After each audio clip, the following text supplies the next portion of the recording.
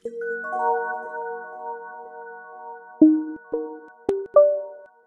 guys, welcome to today's video where we're going to show you how to ship a fishing kayak. Well, actually, we're going to show you how Fish USA ships a fishing kayak.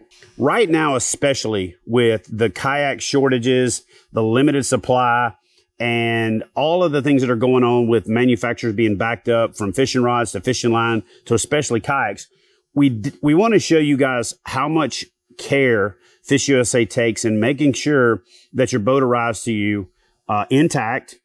And on top of that, they've negotiated rates with the best shippers in the country to avoid shipping damage that is somewhat common uh, in the in the kayak world. Right now, if your kayak gets damaged, it's great that it gets replaced, but there's a good chance that that manufacturer may not have supplies. So it's even more important than ever that your product arrives to you safe and intact. So we're going to turn it over to Bob from Fish USA and Bob's going to walk you through how they package your fishing kayak and the accessories that you order to get it to your house or to your, you know, your local broker or landing dock or loading dock for you to take out on your next adventure. So Bob, take it away.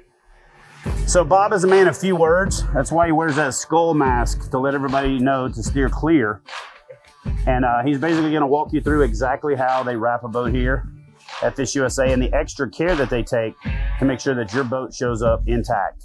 So for this video, Bob is actually wrapping a Jackson Bite. That's a boat that I'll be leaving here with to do a full review on. So if you're looking for a really good uh, price point boat that is still super feature rich, be sure to check out the Jackson Bite.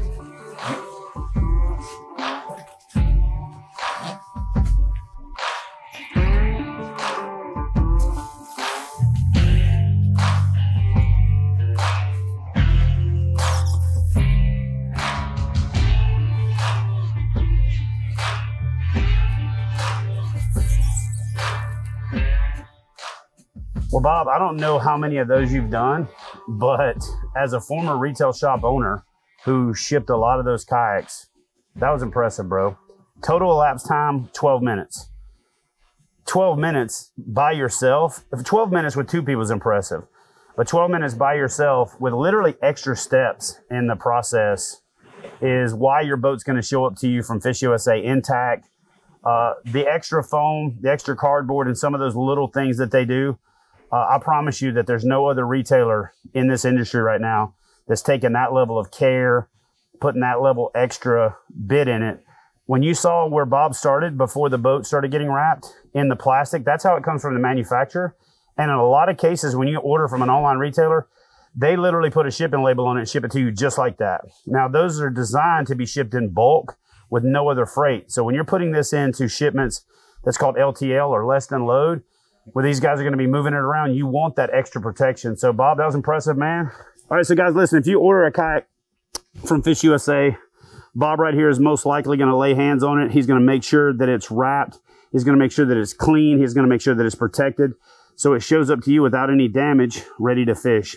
Guys, hope you like this video. Do me a favor, smash that thumbs up button. Leave a comment in the comment section below if you have any questions about ordering a fishing kayak. And if you're going to order a fishing kayak, be sure to check out the folks at Fish USA.